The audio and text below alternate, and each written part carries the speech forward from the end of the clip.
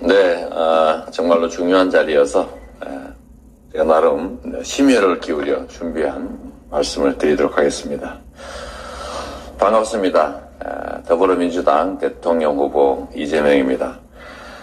먼저 뜻깊은 자리를 마련해 주신 한국행정학회, 한국정책학회, 그리고 중앙일보 이 세 기관에 각별한 감사의 말씀을 드립니다. 어, 새해가 밝았지만 마음이 가볍지만은 않습니다. 모든 국민이 지난 2년 동안 지속됐던 코로나 위기 때문에 참으로 힘든 시간을 보내고 계십니다. 아마 이 자리에 계신 여러분들도 마찬가지일 것 같습니다. 어, 교수님들은 어, 학생들을 만나지 못해서 아쉬움이 크실 겁니다.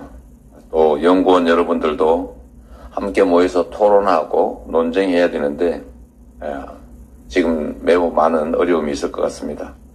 더불어민주당 대통령 후보 이재명입니다. 여러분이 꿈꾸는 대한민국은 어떤 나라입니까? 오늘보다 내일이 더 기다려지는 나라. 억울한 사람도 억울한 지역도 없는 나라. 도전과 실패가 두렵지 않은 기회의 나라. 그런 희망이 넘치는 대한민국 아니겠습니까? 제가 정치를 하는 이유는 단 하나.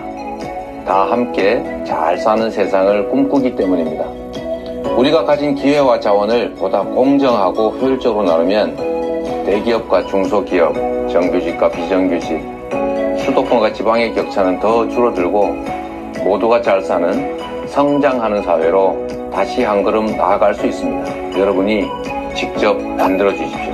여러분 한 분한 한 분이 새로운 대한민국을 만드는 주역들이십니다. 우리 대한민국의 미래에 투자해 주십시오. 경제와 민생을 확실하게 책임질 유일한 후보, 저 이재명에게 후원해 주십시오.